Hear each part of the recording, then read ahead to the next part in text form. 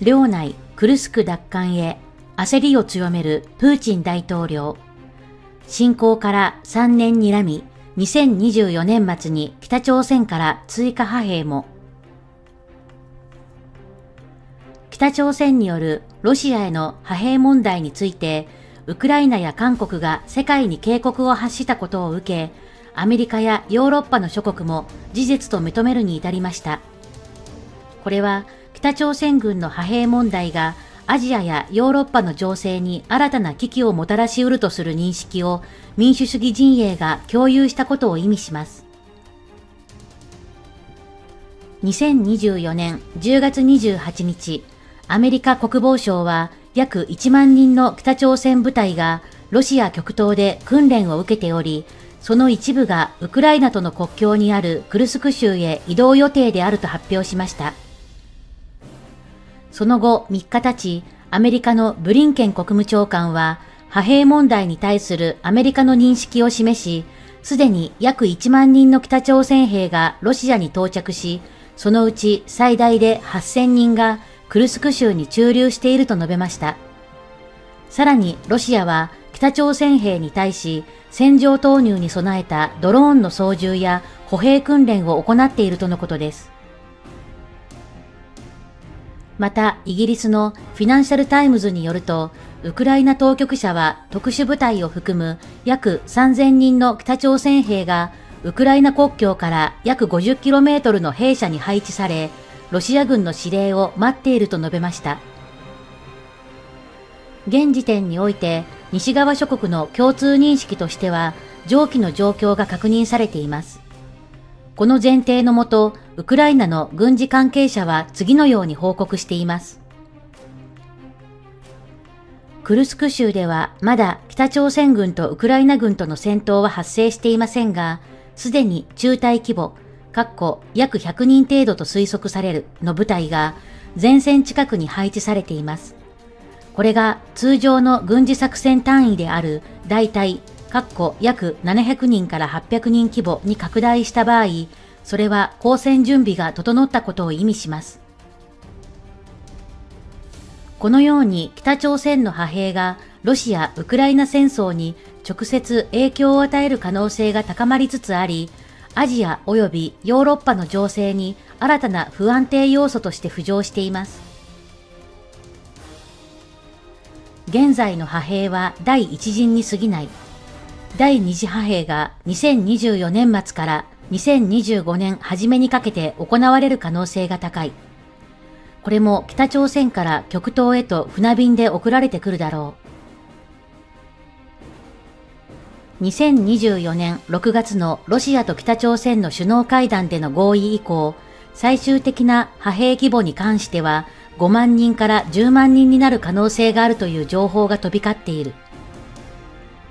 現在の1万人規模の派兵ですら戦況に大きな影響を及ぼすことが予想されるが、もし第二次派兵が行われれば、ウクライナへの侵攻にさらに大きな影響を与えるのは確実である。こうした状況に対して、ウクライナ側はどのように対抗するのか、また、米欧はどのような軍事支援を提供するのかが重要な課題である。特に第二次派兵が実施されるか否かの見極めが今後の情勢を左右する重要なポイントとなるだろう。さらに、派兵が開始された後、ウクライナ側はロシア軍部隊と北朝鮮派兵部隊の間で言語の違いによる意思疎通の困難さを示唆する情報を公表しており、部隊間の連携に課題がある可能性を指摘している。今回の派兵要請に対するロシアから北朝鮮への見返りについては、現時点で正確な内容は明らかにされていない。しかし、北朝鮮側は核技術やミサイル技術の提供を期待しているとみられている。この北朝鮮の派兵決定の背景には、2024年8月初旬にウクライナ軍がクルスク州に対して行った突然の越境攻撃が直接的な契機となったことが考えられる。プーチン大統領は精鋭の第155海兵師団を投入してウクライナ軍と激しい戦闘を繰り広げているものの、未だに奪還の見通しは立っていない。プーチン大統領、クルスク州の奪還期限を2025年2月に延期。当初、ロシアのプーチン大統領は2024年10月までにクルスク州を奪還するよう国防省に指示を出していたが、その期限内での達成は実現しなかった。このため、プーチン氏は最近、新たに2025年2月を期限として設定し直したと伝えられている。この判断に影響を与えた要因の一つが、北朝鮮からの派兵であると考えられる。現在、クルスク州に駐留するロシア軍の兵力はおよそ5万人とされるが、早期奪還には少なくとも10万人から15万人の兵力が必要だと指摘されている。つまり、現在の兵力と必要兵力との差は5万人から10万人であり、これは先の首脳会談で取り沙汰された北朝鮮の派兵規模と一致する数値である。プーチン大統領にとって北朝鮮の派兵部隊を投入してでもクルスク州の奪還を急ぐ理由がある。その背景には2025年2月24日という特別な日付が関係している。これはロシアのウクライナ侵攻が開始してからちょうど3年目にあたる日であり、プーチン氏としてはこの日までにウクライナで何らかの勝利を達成し、戦果を国内外にアピールしたい意向だと考えられている。しかし、現状の戦況を見ると全面的な勝利を宣言するのは現実的ではない。このため少なくともウクライナ軍によるクルスク州の軍事占領という屈辱的な状況を解消し3周年の節目を迎えたいと考えていると推測される。さらに2月24日を過ぎれば5月9日にロシア最大の国家行事である対独戦勝記念日が控えており、この日までに成果を示す必要性も感じているだろう。かつて2014年のクリミア併合を成功させ、戦争で勝つ指導者として支持を集めたプーチン氏にとって、失地を回復できないままでは国民からの信頼に傷がつきかねない。このように重要な日程が迫る中、プーチン大統領の焦燥感は増すばかりであり、これはロシア軍が東部ドネツク州で展開している攻勢にも反映されている。ロシア軍はドネツク州各地でウクライナ軍から小都市や村落を次々と奪い占領地域を広げつつある。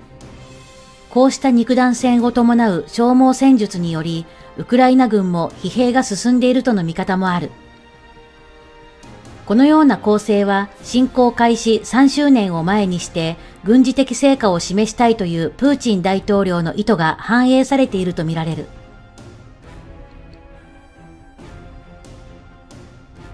アメリカが情報戦で遅れを取った理由。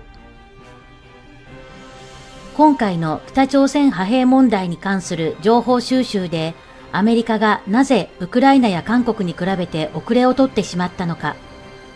その最大の要因として挙げられるのは、アメリカがこの地域において人間を介した情報収集網、いわゆるヒューミントネットワークを持っていなかったことだと考えられている。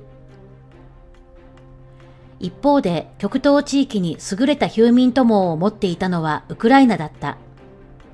ウクライナの情報機関はウラジオストクなどの地域に北朝鮮部隊が続々と到着していることを地元の住民スパイ組織を通じて把握し、キーウに迅速に報告していたとされる。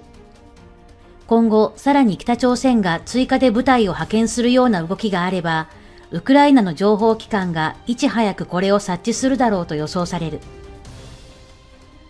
しかし、これからのクルスクにおける戦闘に関連して、筆者として特に気になるのは、バイデン大統領が今回の派兵に関する記者会見で、ウクライナ軍は打ち返すべきかという質問に対して短く答えた、もし彼らがウクライナに侵入すればイエスだという発言だ。この発言をそのまま解釈すれば、北朝鮮軍がロシア領内であるクルスクに留まっている限り、ウクライナ軍は北朝鮮部隊を攻撃してはならないというアメリカの立場を示唆していると受け取れる。もともとバイデン大統領は、ウクライナ軍がアメリカ政府に事前通告を行わずに、クルスクで越境攻撃を行ったことに不満を示していたとされる。この点を踏まえると、ウクライナ軍がロシア領に侵入し、さらに第三国である北朝鮮の軍部隊を攻撃するのは望ましくないという考えをバイデン氏が抱いているとも解釈できる。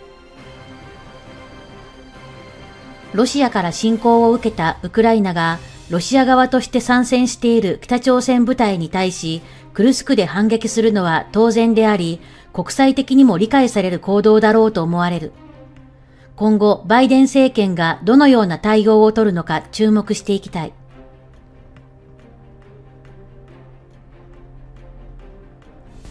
ウクライナ大統領、北朝鮮軍関与めぐる西側の無反応ぶりを非難。北朝鮮外相は勝利までロシアを支援と表明。米政府はロシアに駐留する北朝鮮軍が間もなくウクライナ軍との戦闘に参加するとの見方を示した。これはブリンケン米国務長官が1日述べたもの。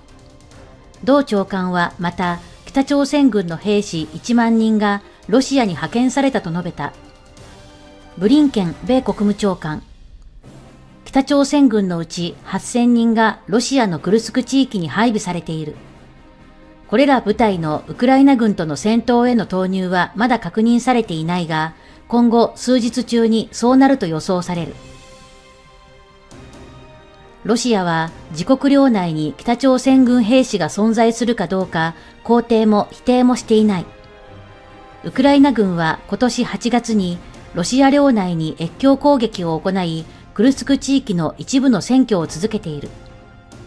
ブリンケン長官は北朝鮮兵士が交戦すれば正当な軍事目標になると指摘した。プーチン大統領はウクライナに自ら作った肉引き機に自国兵士をどんどん投入してきた。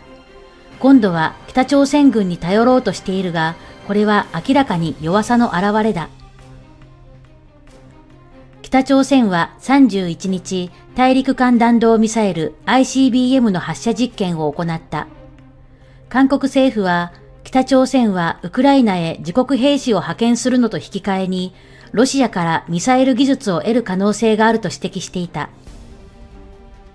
ウクライナのゼレンスキー大統領は先月13日に北朝鮮の関与について公に警鐘を鳴らしていた。そして31日のインタビューで同大統領はそれに対して同盟国から反応がゼロだったことを批判した。ゼレンスキー氏はロシアは西側諸国の反応を探っており、反応が薄ければ北朝鮮部隊を増強するだろうとの認識を示した。同氏はまた中国も沈黙していることに驚いていると述べた。ブリンケン氏もまた中国に対し北朝鮮の行動抑制に向け影響力の行使を求めた。こうした中、ロシアのラブロフ外相と北朝鮮のチェソンヒ外相が1日にモスクワで会談。